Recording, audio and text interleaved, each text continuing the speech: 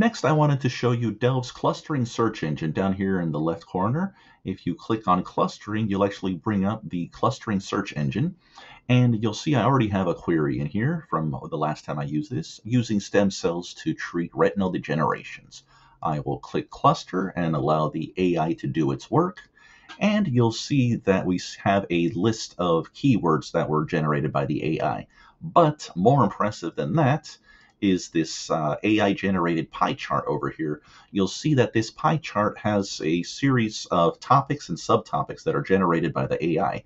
And the topics are listed on the inner circle, and then the subtopics are listed in the outer circle and you can click on any specific portion of this pie wedge in order to have the uh, articles that are part of that pie wedge listed over here on the right.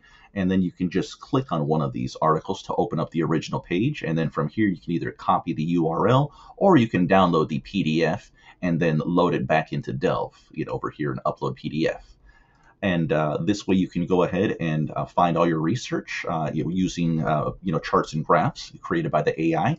And we also have another chart over here besides the pie chart. We have a tree map, and you can actually come over here and click on different parts of the tree map, which will then correlate to different articles over here.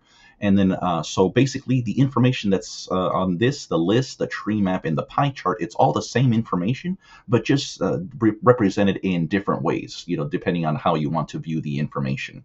So this is really helpful for being able to visualize what you're searching instead of just looking at page after page of search results. Having this uh, visual aspect is really going to help you narrow in on the exact research that you're looking for, and that should really help you in your research.